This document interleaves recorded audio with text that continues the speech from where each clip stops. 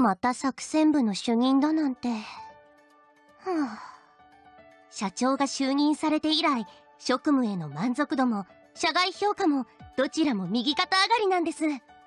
これからも頑張って、会社を成長させましょう。本日午後には、志望者の面接、社内視察、協力会社とのミーティングが予定されています。急いで動かないと、遅れてしまいますよ。はい。どうかなさいましたか？何かご指示でも？社長、勤務中はサボらないでください。約束しましたよね。お酒は趣味みたいなものでして、まあ、たしなむ程度ですけどね。失礼いたしました。つい、じっと見入っちゃいましたね。食事会も好きですけど、どうして飲み会には呼んでくれないんでしょう？チューインガムからミサイルまで。コンビニアポカリプスへようこそ。はい？か核燃料？それは期間限定品でして。そうだ石炭ならございますよ。ええー、っと何かお探しでしょうか？おやつ？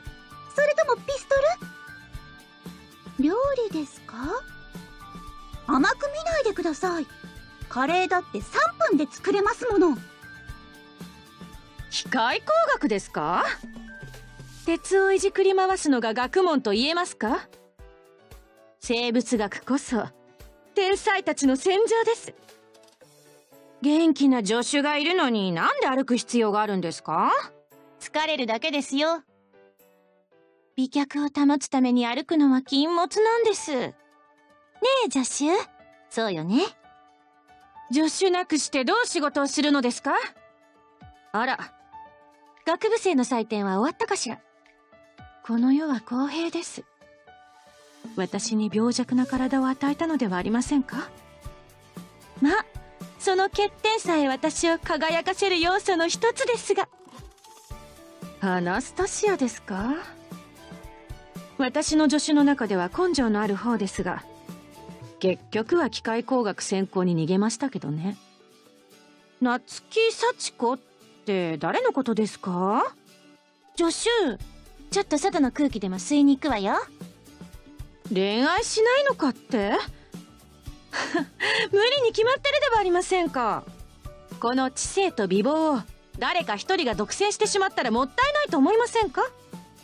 ああ、社長も、コーヒーどうですか？ショットで作りすぎちゃって。私はコピー機兼コーヒー係です。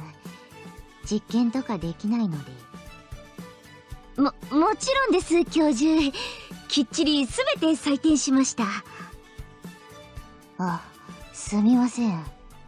どんな要件でしたっけ？も、もちろんです、教授。きっちりすべて採点しました。社長はいつも元気ですね。見てると心が癒されるっす。はい、わかりました。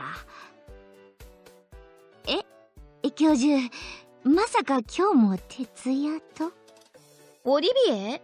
ああ、夏木幸子のことね。未だにネズミにピラティス教えてるんでしょ？このデリケートカーブに興味があるの？興味深いわね。新しく入ってきた重火器があるんだけど、情熱的に使ってくれる人はいないかしら？ボーイフレンド？冗談でしょ？丈夫じゃない生物には興味ないわ。すぐ壊れちゃうもの。逆設計ごっこって聞いたことある？見たいって素直に言えばいいのよ。このデリケートカーブに興味があるの？こっちがいいの？私は別に構わないけど。あれ？創薬がまだ届いてない？こ、こらそこで寝ちゃダメなのです。あ、左舷の弾幕が薄いということで補強中なのですが、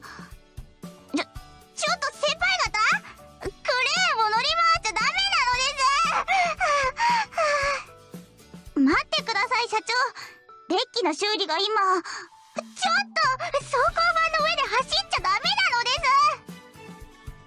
え？え？だだから今の整備状況がちょっとそれは大事な配線なのですよ。ああのただいまの建造状況は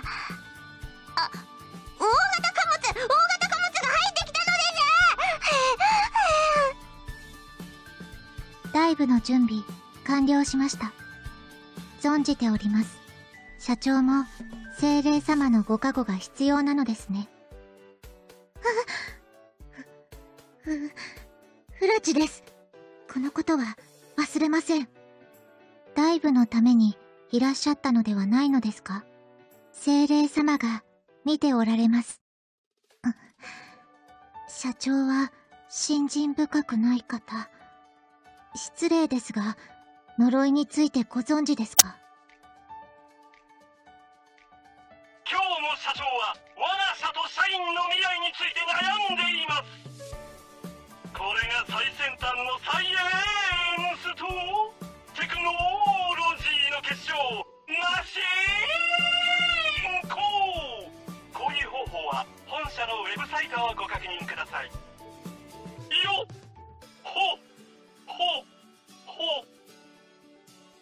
私の給料を2倍にしようか。